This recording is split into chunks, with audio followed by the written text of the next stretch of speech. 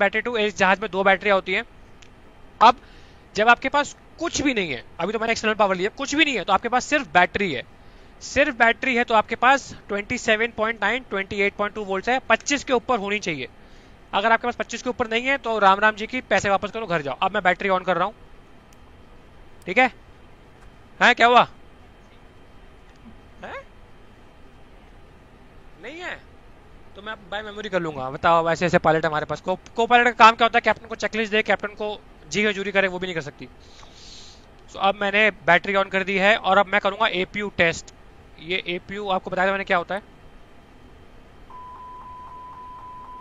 तो ठीक है एपीयू टेस्ट हो गया। तो this is a fire test की मतलब अगर फेलियर होता है तो ये चल रहा है कि नहीं? अब मैं एपीयू स्टार्ट करूँगा। ये मेरा, अरे भैचन क्या हो रहा? ये मैंने मास्टर ऑन कर दिया। ठीक है? APU master on APU on चलो, पीछे आ जाओ बेटा। अब आप देखेंगे नीचे एपीयू पेज खुल गया है। तो this is the APU page ये देखिए, अभी ये चालू हो जाएगा एपीयू एपीयू क्या होता है, मैंने आपको बताया था?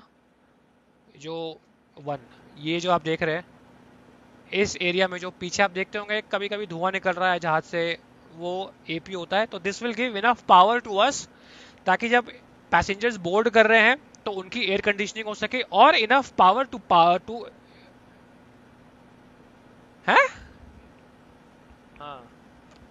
तो इनफ पावर धर्म पत्नी आई थी, कह रही थी स्ट्रीम पे गाली मत दो। मैंने कहा निकल जाती है यार इंजीनियर हो जाता है। कॉकपिट में भी निकल ही जाती है।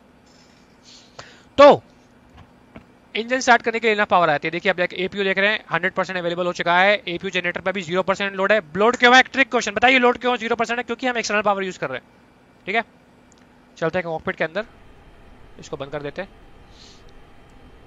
अब गाइज़ अब क्या करेंगे? सबसे बेहतरीन काम हम करेंगे cockpit preparation this is called cockpit preparation simple सा फंडा एयरबस का। एयरबस कहता है, जितनी भी व्हाइट लाइट दिख रही है ना, उसको बंद कर दो। तो हम सीधा कुछ नहीं करेंगे व्हाइट लाइट बंद करेंगे। ये बंद कर दी।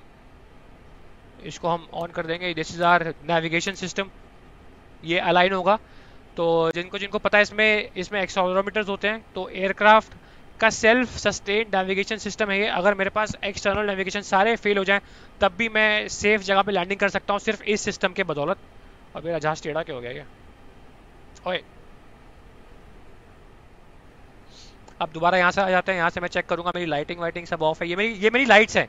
एयरक्राफ्ट के बाहर की जितनी भी लाइट्स हैं ये मेरी लाइट्स हैं, इसको मैं ऑन करूँगा। अरे चल जा। प्लस आ जा प्लस आ जा।